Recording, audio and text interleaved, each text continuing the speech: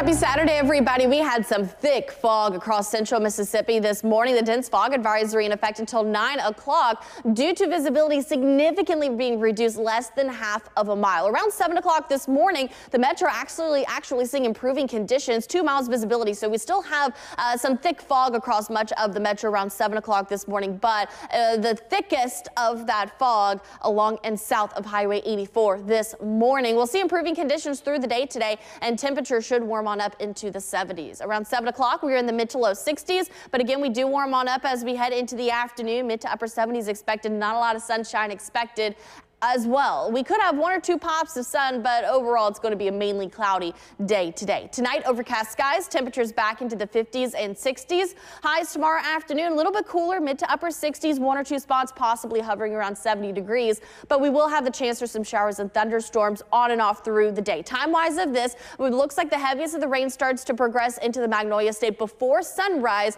and this is going to continue into the morning and early afternoon hours. Heavy rains and thunderstorm activity will be possible with this And then as we go into the afternoon, I think the uh, nature of the spread of this system is going to be more so on the isolated side. Still going to provide some heavy rain and some thunderstorm activity, but it's not going to be as widespread as expected in the morning. Then Monday morning could have one or two stray showers lingering back behind the system, but overall a dry start to the morning. Rainfall totals ranging anywhere between about a half an inch to an inch of rain, but we could have one or two spots with a little bit higher totals when it comes to Sunday's wet weather. Look Looking forward into Tuesday and Wednesday, we are looking at yet another system. This is developing back off towards the Pacific Northwest, providing heavy rain and snowy conditions off the western side of the Rockies. This will slide eastward for the next couple of days, and this is going to provide the chance for some stormy weather for parts of eastern Texas, as well as Oklahoma, Arkansas, Louisiana, and even for us here in Mississippi. The best chance for severe weather right now stays off to our west.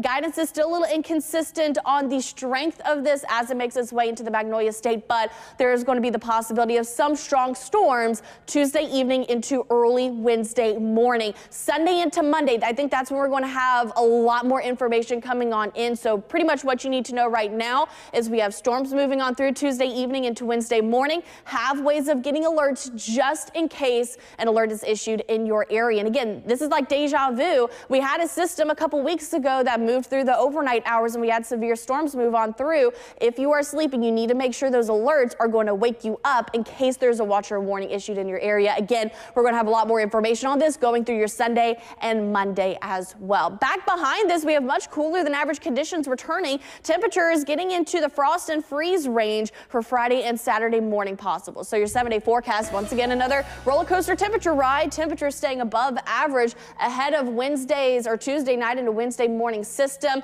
Again, strong storms possible clearing by early Wednesday. So we should see some sunshine and and improving conditions for Wednesday afternoon. And then we turn chilly in the morning hours for Thursday and Friday with sunshine in the afternoon.